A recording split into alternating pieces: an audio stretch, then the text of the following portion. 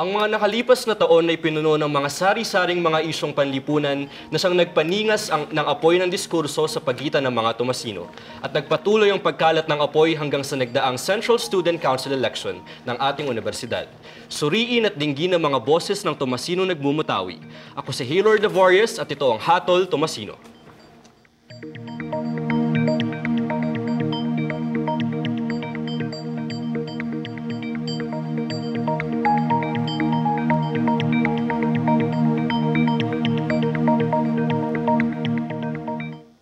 Naging mainit na usap-usapan ang desisyon na isagawa ang botohan online gamit ang panibagong voting system na ginawa ng UST Computer Science Society, lalong-lalo na ang pagtanggal ng abstain sa mga balota.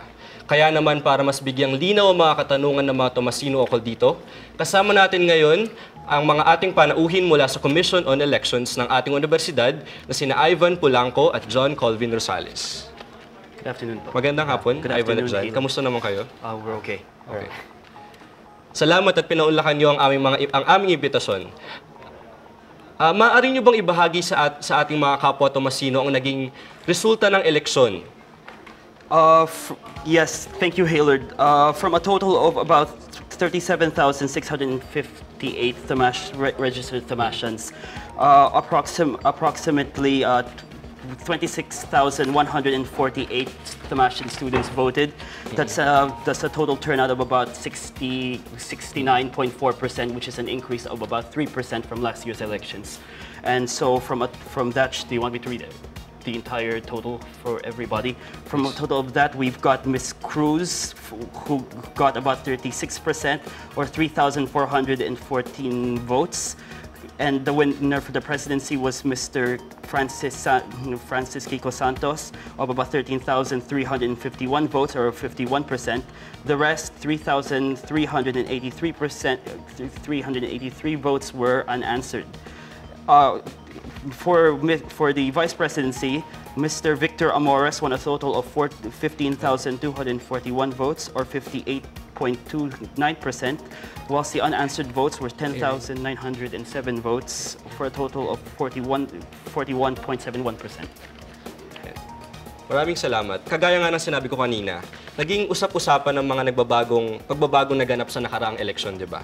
Ah, Yes. Ano yung mga ginawang paghahanda ng COMELEC upang masigurado na maisasagawa ang botohan ng maayos at mabilis? Ikaw muna. Uh, our main project this year was the implementation of the Evosis system, in which for the, for, for the first time in two years we managed to implement a electronic voting system, which this time was made by Thamashans for the Thamashan public, and that allowed us to quickly and efficiently allowed, uh, allow our Thamashans to vote, and we were able to canvass our votes in just the span of one hour. Okay, ikaw, ikaw naman. Um, we actually had a, a leadership training seminar last March. And doon namin pinakita yung uh, procedures sa mga deputies namin uh, with, cooper- with cooperation with the local local uh, com- commission elections unit. And then all the procedures will be disseminated through their uh, respective block presidents para ma-disseminate din ulit yung information procedure doon sa kanilang class. And then uh, yun, mag-disseminate kami through PubMats and through text na rin, and via chat. Sa tingin mo ba mas naging madali ngayon yung um, election process kesa dun sa ginawa last year na alam, na, alam natin na um, ginawang manual? Um, through the program of Evosis, I would say yes naman. Uh, well, thank you for the USCCSS for the Evosis. Uh, the Evosis was uh, a complete success naman siya. With, yeah, we, we do that, with, with USCCSS, uh, meron siyang flaws, but overall, uh, it was so fantastic din naman and very successful. Thank you very much. Ngayon, ah, kung titignan natin yung voter turnout ngayong taon, mapapansin na medyo marami yung unanswered, di ba? Yes. Ano yung masasabi niyo tungkol dito? Ikaw muna. That's Evan. the choice of the Thamashan electorate whether they want to leave it blank. That's the same reason why we insisted on having it put in the first place, uh, as it is usually done in elections all across the world. So these peop people were allowed to show their protests or dissatisfaction through the unanswered votes. But at the same time, we need to point out that we've had a vote, an increase of voter turnout by over 3% from last year. So we consider that a great success. Ikaw naman, Calvin. Um, one of the major problems din naman na kahit ah, sabihin natin may unanswered talaga or merong ibang local student council na nag-abstain.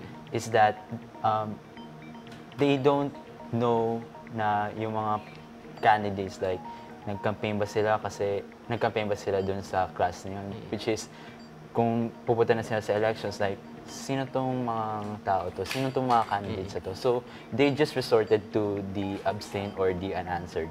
So it's one of the major problems din naman kung bakit karamihan dun is unanswered Okay. Ah, sa tingin ninyo, ano yung naging epekto ng nakalipas na halalan na ito sa mga Tomasino? Uh, I think it's, be- it, it showed transparency and efficiency, the likes of which we've never seen. On manual count, it usually takes us o- an overnight canvassing session. Lock, we would be locked up in the Tanyaki Center for, o- for o- well over 12 hours counting the votes. E- even in the old uh, in the old system that we used to have, that would take us about five or six hours of counting because we need to download the data from Singapore. At this time, we were able to show the Tamashan electorate and the media how it is counted, how it can quickly be printed and trans- and and count and uh, and certified by the electorate by the COMELEC. Ikaw naman. uh, for the ano yun? Ah, sa tingin nyo, ano, sa tingin mo, ano naging epekto ng nakalipas na halalan na ito sa mga Tomasino?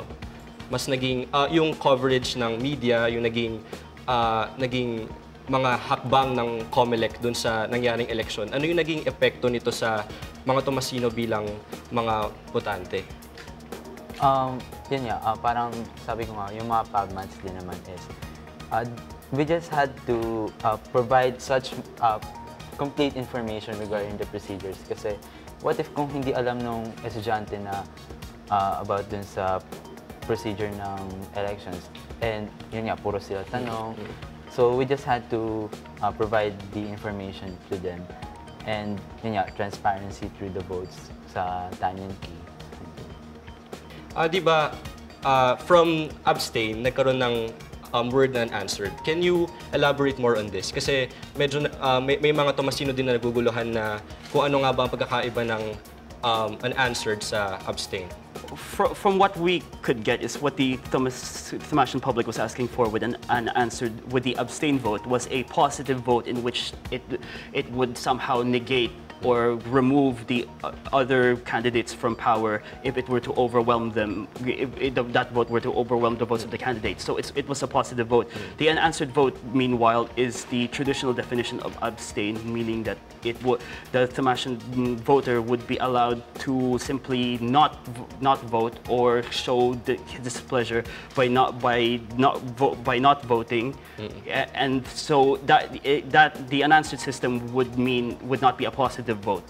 That would be counted. That would somehow negate the votes of the other individuals. Maraming salamat po. Tiyak ako nagkaroon ng lin- linaw ang karamihan sa mga katanungan ng mga kapwa nating Tomasino.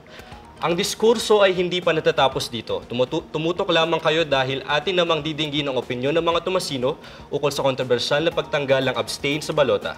Magbabalik ang Hatol Tomasino matapos ang ilang mga paalala.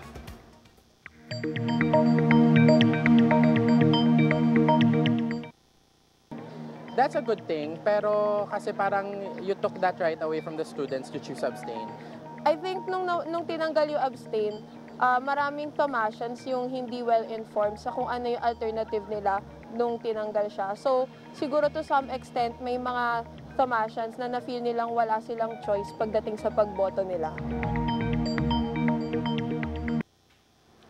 Narinig na nga natin ang iba't ibang opinyon ng mga Tomasino sa nangyaring eleksyon at sa pagtatanggal ng abstain sa balota.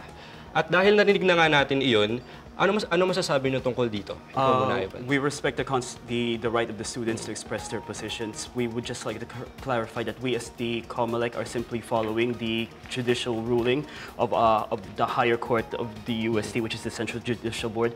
We need to clarify what they mean by constitutional right. By constitutional right, it means it's actually written in the Constitution.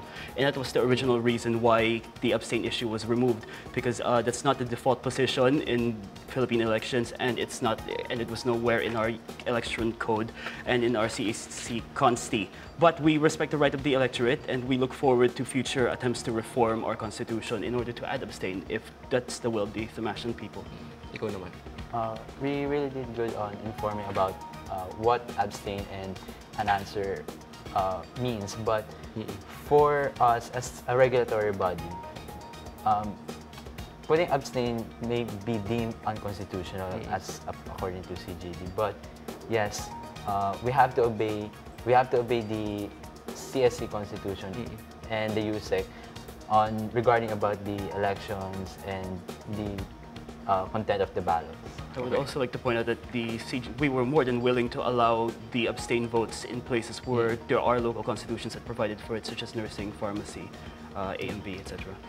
Pero sa tingin nyo ba hindi naging ah, um, hindi naging malaking epekto sa sa mga Tomasino yung pag pagtanggal ng abstain at dun sa um, pagpapakita ng unanswered dun sa balota? Kasi um, baka nag nagets nila um, nagets nila doon na pag abstain kasi 'di ba um, pwedeng manalo 'yun tapos kung mas mataas 'yun yun yung mananalo dun sa dun sa dun sa election. Pero dun sa unanswered nagkaroon ng ah, mas komplikadong proseso sa pag-compute kung mananalo nga ba talaga ang isang kandidato. I feel we were very open with the press from as far back as February and March with our issue of unanswered. We made had multiple press conferences with the Varsitarian. We released pubmats and statements concerning the unanswered votes.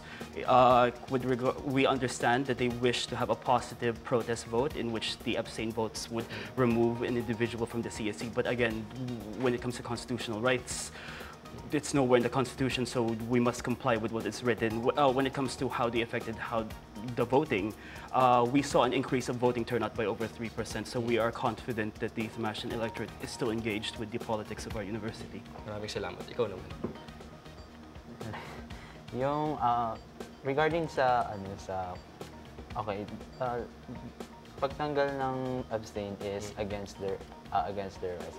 But I guess yan nga, yung conference is a major factor din kung bakit yeah, we informed them regarding about sa uh, sa abstain and unanswered and yun, properly informed naman sila regarding that. Okay.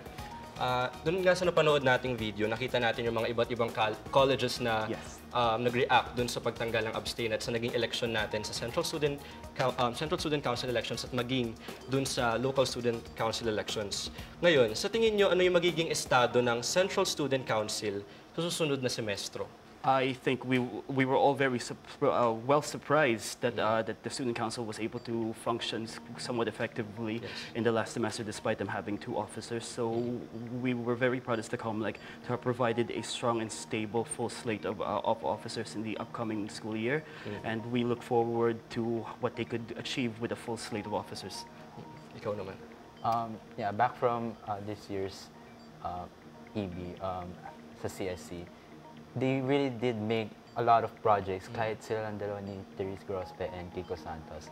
But uh, when the CSC elections and they had the full post uh, na meron na talaga, um, I am looking forward din na mas marami pang projects and more communication with the Tomashan electorate regarding sa mga social issues and uh, any other communications and collaborations with other orgs na rin.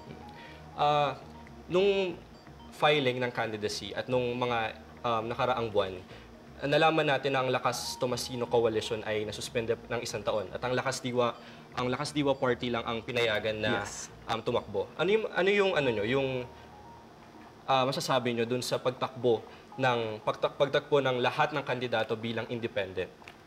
Well, if La Castigua does not wish to field any candidates, it's their choice as a party to do so. We, it's not our responsibility to, to, uh, to guess the inner workings of La Castigua. But, and we, when it comes to the independent candidates, uh, the more the merrier, we feel. If students wish to come out and declare themselves as candidates without the party apparatus, then all power to them. We respect their rights. Ah, ngayon, may mensahe ba kayo sa mga Tomasino ukol sa naganap na eleksyon? Uh, for the Tamashan electorate, uh, yun nga, uh, thank you then for making proclamation and the elections possible then. Um, we looking, we are looking forward to the next CSC then, CSC EB as part of your, as part of this family then. Okay. And uh, you have, uh, since meron na tayong uh, full post of EB, uh, you may now provide them your, uh, you may now address their, your issues to them since more accommodating din naman. Uh, and sobrang approachable naman. Okay. Ah, bilang dagdag na tanong, ah, yung SHS, nakita natin nung proklamasyon na marami sa mga posisyon ay binoto nila um, abstain, di ba? Ano yung masasabi na dito? Uh, la- f- la- for the message to the electorate, my, me- our message is decisions are made by those people who show up. So we saw many times during the, uh, up and down the different colleges how elections were won or lost by just a tiny margin of what 10, 15 votes. So imagine how different our results could be if we got our turnout by 80%, 90%. So we encourage more people to vote. When it comes to the SHS elections, uh, they they voted to have abstain in the constitution. It's their right to do so, and uh, ours is not ours as, is not to guess the will of the electorate in SHS. Maraming salamat, Ivan at um, Colvin, sa pagpapaulak sa aming imbitasyon. Ah, Thank you. Thank okay. you. Yes, Rich. Ah, di ba dun sa HSS, eh, SHS, ah, nasabi na yung abstain nga ah, mas nanaig, mas nanaig dun sa ah, sa election natin, sa proklamasyon. Hindi ba to parang implication na hindi naging well-informed ang SHS tungkol sa sa mga Tomasino? Uh, for me, uh, the uh, well, one factor is that is, uh, hindi nga talaga well-informed regarding about dun sa matters of the, you know, the candidates of the SHS uh, candidates. But we, SHS had uh, MDA, so, well, well, dapat informed na rin sila regarding that. And meron din naman silang binab, uh, may mga question and answer din naman na pwede nilang i-address sa kanila regarding that. So, I mean, MDA is maybe a proper event to know how the candidates, uh, to know what the candidates are Okay. Muli maraming salamat, Ivan at Thank you. Colvin. Ah, salamat sa pagbabahagi ng inyong kaalaman at opinyon at sigurado ako nagbigyang linaw na rin ng mga kapwa nating mga Tomasino. Maya-maya lamang ay makakasama natin ang mga bagong halal na Central Student Council para susunod na taon. Pagpapatuloy ng pagdinig sa boses na namumutawi sa aming pagbabalik.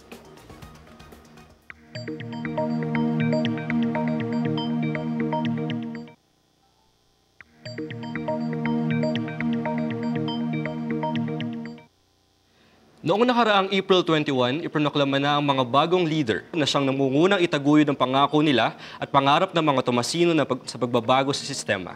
Atin silang kilalanin sa video na ito.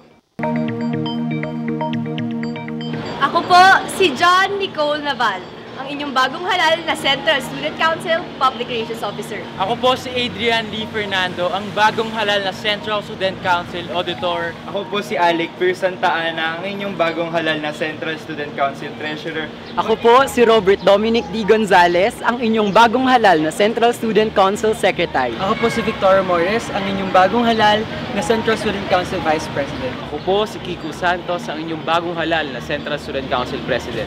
Samahan niyo po kami sa darating na biyernes sa Hatol, Tomasino 2018.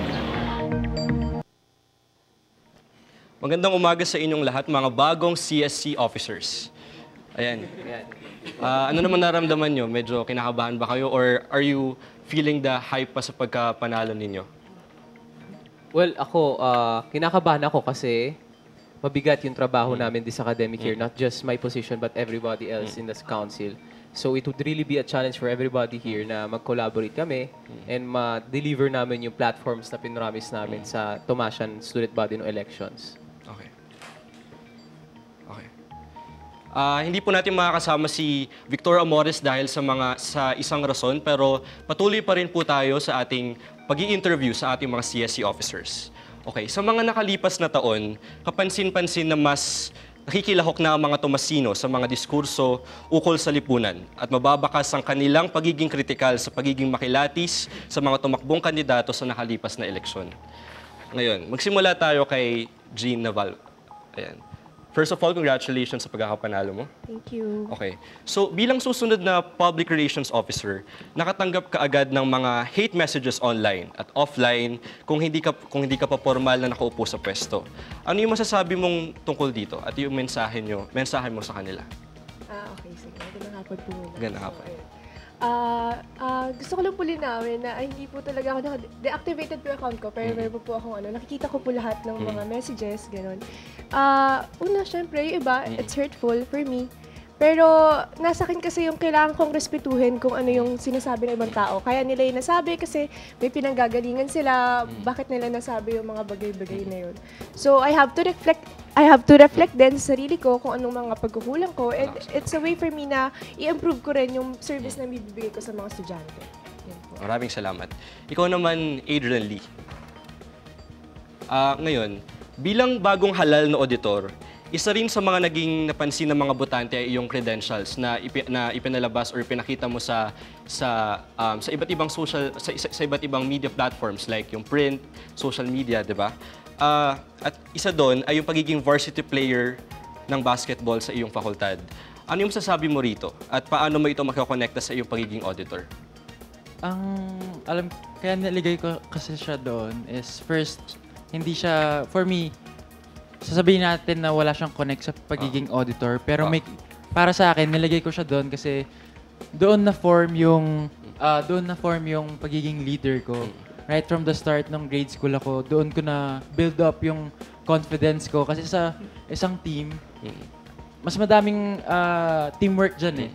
Ah, mas napupunan nyo agad yung bilis ng isip nyo kung paano ah, gagawin mo or paano mo i-uplift yung ah, pagkukulang ng isa. Ah, para sa akin, kung sa job ng pagiging, pagiging isang auditor, ah, siguro wala nga siyang connect. Pero I'm running in, ah, nag-run ako sa Central Student Council na ah, hindi lang dapat doon naka-base yung trabaho mo, kung hindi pati yung serbisyo mo sa kanila ng ah, sa students and, and sa admin. And yung leader na yon doon ko siya na-form sa pagiging ah, isang way na naging na naging leader ako. Maraming salamat, Adrian. Ikaw naman, ah, Alex Santa Ana. Congratulations sa pagkakapanalo mo. Thank you. Ah, ano sa tingin mo yung naging edge mo bilang wala kang kalaban sa pwesto dahil nga disqualify siya, di ba?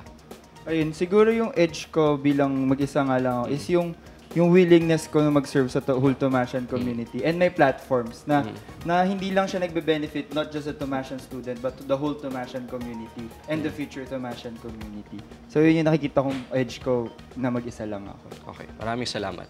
Ngayon naman para sa ating bagong halal na secretary na si Robert Gonzales. Ah, alam namin alam natin na naging malapit kayo ng um, iyong katunggali na si Carol Ann Balita mula sa journalism pro- program lalo na noong campaign period. Ah, paano niyo to tinanggap bilang magkaibigan ah, magkaibigan kayo tapos ah, ah, magkalaban din kayo? So yun, actually naging close kami ni Carol nung election season lang kasi doon lang kami nagkakilala. Tapos yun, um, may mga times na parang kakain kami together kasi magkikwentuhan kami about parang educational discussions and parang other anything under the sun. Tapos nung nalaman na namin yung results, parang naisip ko na, uy, ah, magkalapit lang yung votes naming dalawa. So parang ano ibig sabihin nun? Para sa akin kasi that means na we're both deserving for the position.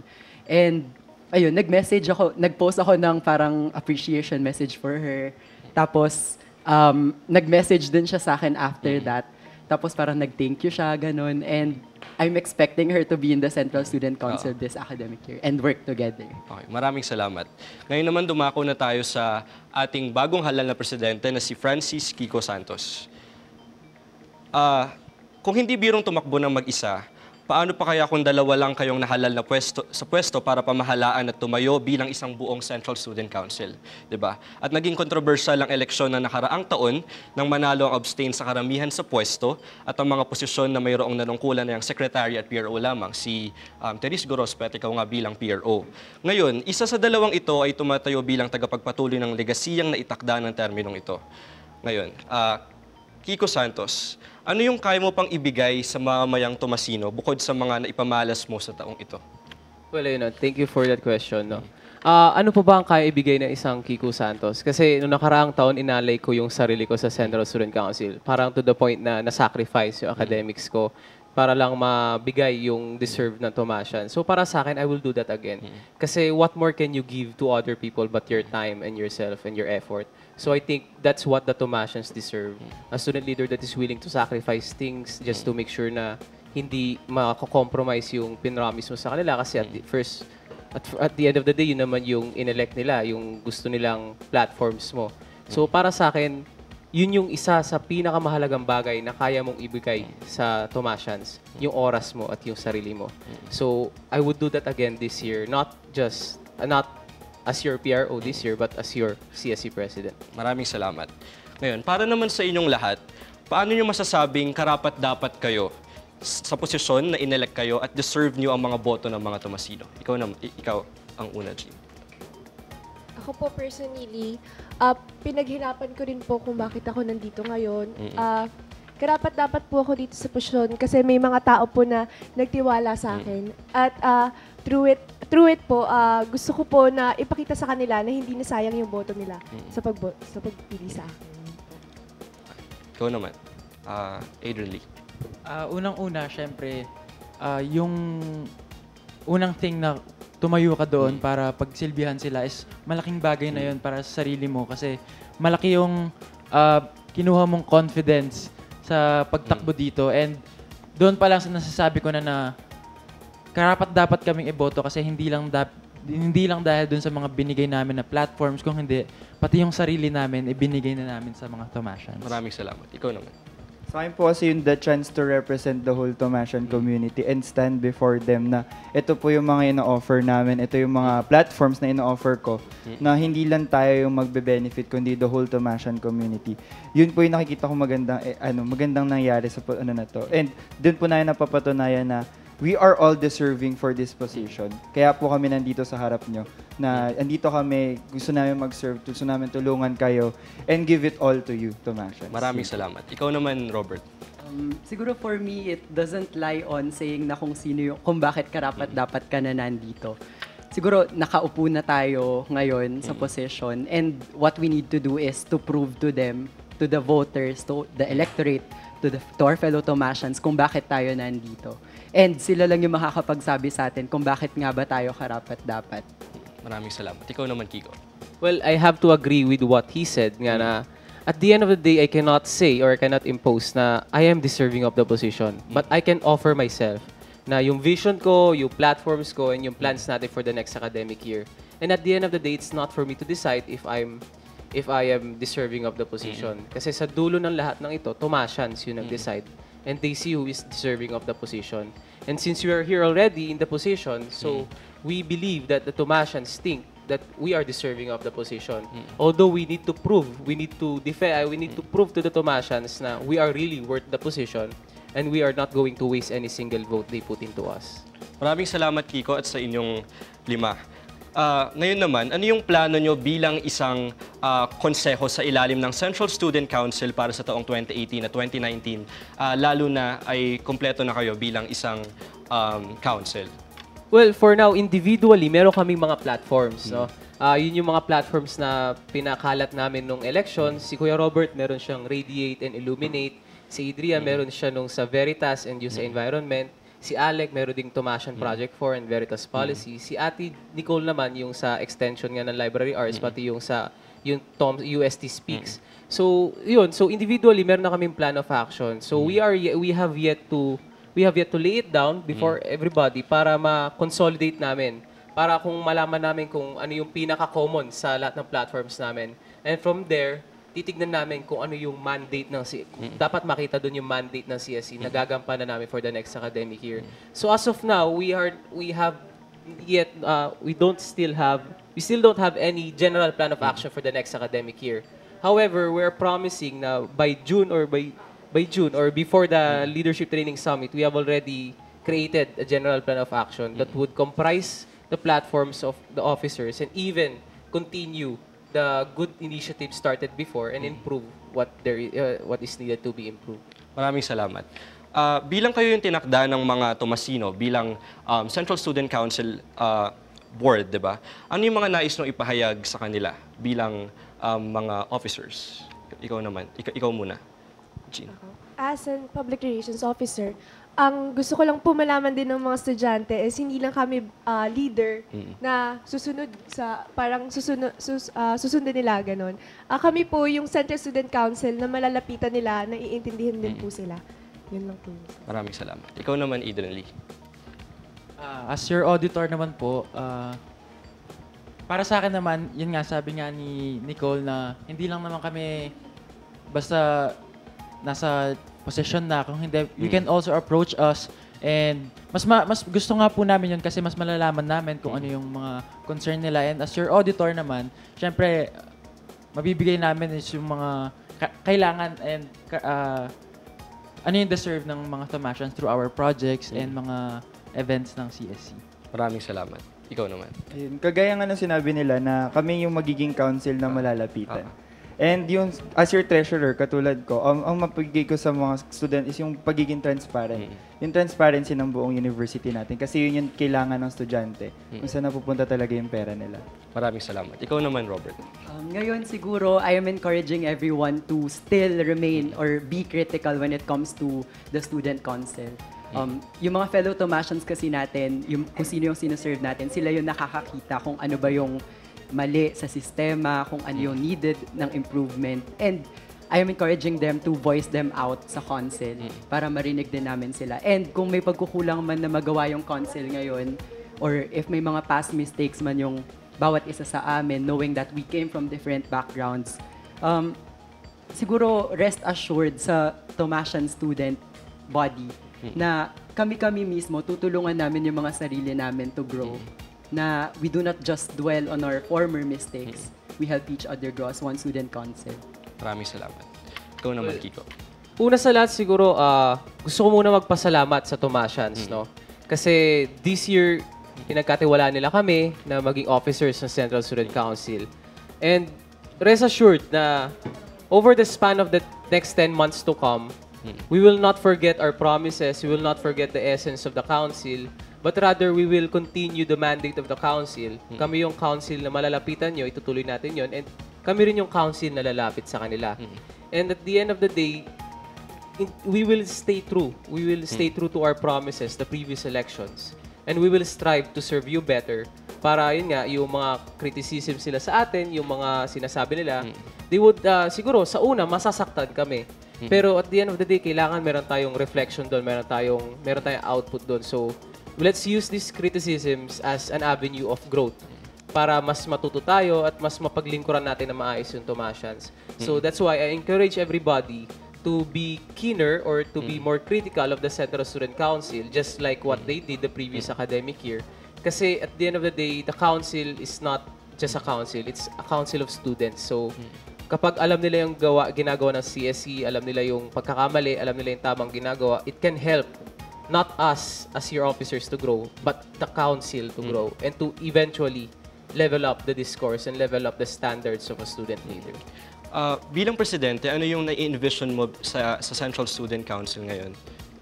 Yun, so individually as your president, meron akong platform. So yung platforms ko is centered on students' rights and dun sa uh, increased socio-political involvement. So nandun yung yung main thrust ng presidency ko is yung students' rights and yung socio-political involvement ng bawat students. And yun yung gagawin natin for the next academic year. So I envision a council that would really be, f- be for the students, by the students, and that would protect and uphold the rights of the students. At the end of the day, that's the essence and that's the mandate of the council. And I, I will, we will, we will never forget that mandate. Okay, maraming salamat. Ah, ngayon, bilang ah, kompleto na nga kayo, ano yung ah, final message naman ninyo kahit kung, kung saan nyo gustong i-direct sa mga Tomasino or sa sa inyong sa inyong council? Ikaw naman, ikaw, Jean. To the Tomasians po, ulit po, maraming salamat po sa lahat ng mga sumuporta sa amin, sa mga bumoto sa amin, Ah, sa mga nag-criticize, kasi in that way nga ma-improve pa namin yung sarili namin for them. And ah, ang mabibigay, ang mabibigay ko lang po na pangako is that I will, iaali ko po yung sarili ko, yung buong pagkatao ko para sa Central Student Council. Yun po. Ikaw naman, Adrian. Siyempre, unang-una po sa lahat, maraming salamat sa lahat na nagtiwala, sa lahat ng bumoto. And patuloy pa rin po kaming mag improve sa mga ah, mga nakapunan ng mga pagkakamali namin. And siyempre, pasalamatan din po natin yung Panginoon kasi hindi na hindi kami pinabayaan at ah, patuloy tayong magtiwala sa Kanya kasi siya din naman yung magiging guide natin ah, for the next academic year. Tama naman yun. Ikaw naman. Yun. Uh, first of all, syem- syempre tat- papasalamatan ko kung ano yung, ano yung dahilan kung ba't ako nandito. yung mga Tomasian. So, maraming salamat kasi pinagkatiwalaan niyo po kaming anim na nandito ngayon sa harap niyo. And yung pangalawa po is yung my parents and may, ah, yung si God nga po. Kasi not because of them, wala rin po ako dito. Na hindi, dahil sa kanila, walang, walang Alex ang taanan nandito. And huli po sa atin, sa executive board na finally kompleto na tayo. And I believe na we can do it uh, in our own little ways and as one U- uh, UST Central Student Council. Maraming salamat. Ikaw naman, Robert. I would- like to thank the Tomasians for putting us where we are right now. Merong big pressure sa amin kasi sobrang daming Tomasians na sinaserve. Pero gagamitin natin yung pressure na yun to fuel things up with regards to our plans and other visions for UST. And yun, thank you rin to our parents, to Papa God, to all the organizations involved. And yun, um, hoping to get to know more yung mga officers na kasama namin ngayon. And sana, and dapat mag-work tayo well and blend well. Ikaw naman, Kiko. So yun, ah, una sa lahat, gusto ko magpasalamat sa lahat ng Tomasian sa nagtiwala, hindi lang sa akin, kundi sa mga kapwa ko officers na nandito. Kasi yun naman talaga yung magiging puhunan namin, yung tiwala ng estudyante. And gusto namin na at the end of the year, nandun pa rin yung tiwala nila sa amin. And gusto ko rin mag-thank you sa kanila dahil mas naging critical ang mga Tomasino this, the, the previous election and this election. And sana ma-maintain natin yun hanggang, hanggang sa susunod na election. And dito naman sa sa executive board natin ngayon, ah, gusto ko lang na sana by the end of our term, pagpapanoorin natin yung video na to, eh, yung ito, ito kasi time capsule na natin to. Pag binalikan natin to, dito natin makikita kung we stay true to our promise. So sana pag panoorin natin tong video na to ulit sa bandang May or bandang June, ah, ma- mapapangiti na lang tayo na natupad natin lahat ng sinabi natin at nag-blend well talaga tayo. Kasi at the end of the day, that's what the Tomasians deserve. So yun. So yun, pati rin sa mga kaibigan ko pala, shout out sa inyo. Kasi laking tulong niyo sa akin and sa family ko. Yun, thank you. Thank you so much. Maraming salamat mga bagong halal na CSU officers. Ah, ah, atin na napakinggan ang iba't ibang boses ng mga Tomasino na hindi lamang nagbigay linaw sa mga agam-agam ukol sa naganap na eleksyon, kung hindi nagsilbing daan din upang mas magmutawi ang kolektibong boses natin. Naway sabay-sabay nating harapin ang susunod na taon na puno ng pag-asa sa magandang bukas. At huwag malilimutan na ang pagbabago ay hindi lamang nakakamit ng iilang tao, kung hindi magsisimula sa inyong mga sarili.